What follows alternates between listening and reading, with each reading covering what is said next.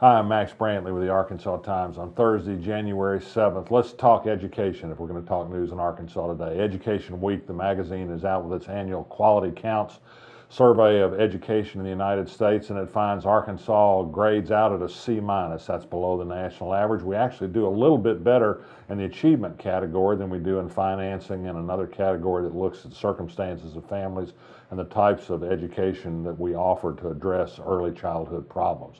So it's sort of a mixed bag. The Walton Family Foundation says it's going to spend one billion more dollars in the next five years to create more charter schools. It's already spent a billion in the last 20 years.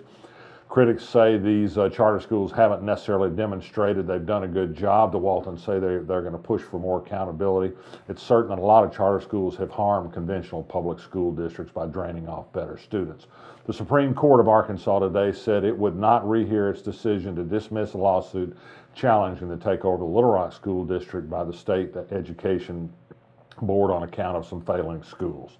Elsewhere in the news, uh, the Little Rock police have charged both a 16 year old and an 18 year old in a bank robbery of a Bank of America branch yesterday, in which a bank employee was wounded in the shoulder by a gunshot bla- uh, shotgun blast. The shooter was a 16 year old, police say, and the getaway driver was a young 18 year old woman. Also, at the Supreme Court today, the Supreme Court cleared the way for another hearing at the circuit court level on life convicted murderer Alvin Ray Williams to get a chance to introduce evidence that he was denied in his first trial in 1994. He's turned up evidence that there was a defense witness that said he indeed acted in self-defense. A prosecutor did not make that uh, information available to the defense at the time.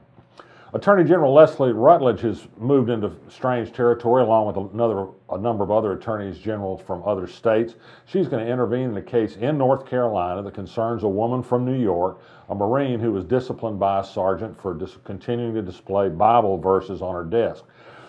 The Attorney General of Arkansas portrays this as a religious freedom issue, which it may be. Uh, dealing in religion cases in North Carolina is not part of the statutory duties of an Attorney General of Arkansas. But the, actually, when you look into the case, this is really more about a good good order and discipline in the Marine Corps, at least according to the court that heard it there. But Rutledge and others want to make a religious case about this and, and seem bound to do so one way or the other.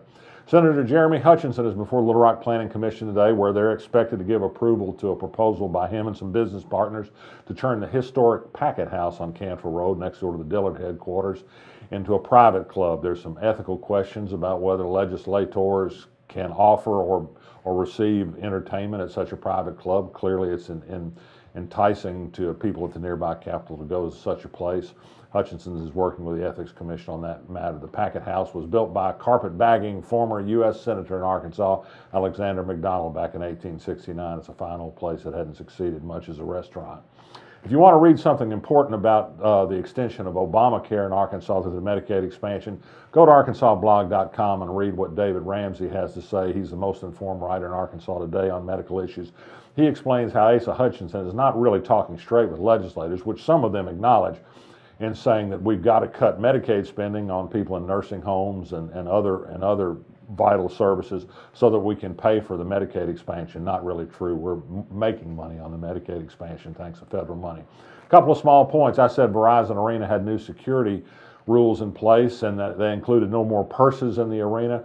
One day later, they changed that to say, yes, well, we will allow small clutch purses. I was about to say for women, but of course, men can also carry a small clutch purse if necessary. You can take a diaper bag too, but they'll be searched.